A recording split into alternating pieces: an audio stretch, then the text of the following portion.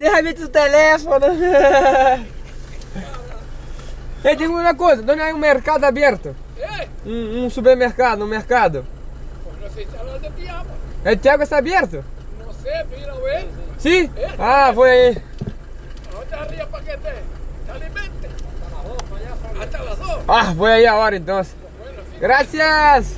Bueno. Buenos dias.